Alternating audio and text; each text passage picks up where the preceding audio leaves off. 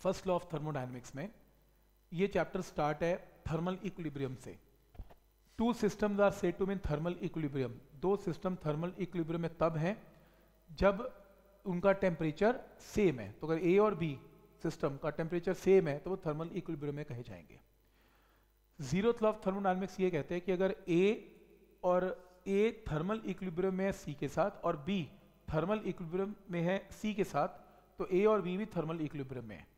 मतलब in short अगर A और सी का टेम्परेचर सेम है बी और सी का टेम्परेचर भी सेम है तो ए और सी का टेम्परेचर भी सेम है. ये ज़ीरो ऑफ़ थर्मोडाइनमिक्स हमें बताता है. नेक्स्ट है थर्मोडाइनमिक सिस्टम क्या होता है?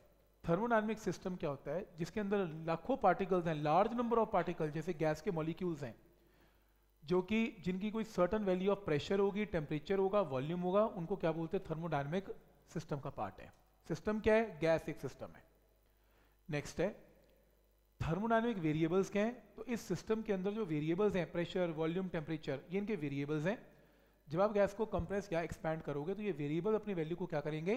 चेंज करेंगे। इनको थर्मोडाइनमिक वेरिएबल्स बोला जाता है।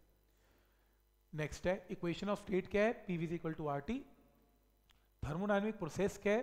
थर्मोडाइनमिक प्रोसेस वो है जिसके अंदर थर्मोडाइनमिक वेरिएबल्स टाइम के साथ चेंज होते हैं।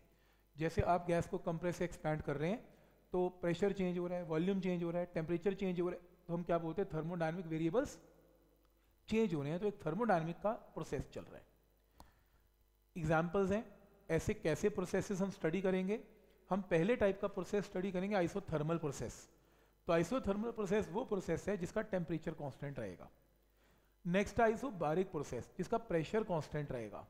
नेक्स्ट है आइसोकोरिक प्रोसेस जिसका वॉल्यूम कांस्टेंट रहेगा। नेक्स्ट है एडियाबैटिक प्रोसेस जिसमें हीट एक्सचेंज नहीं होगी।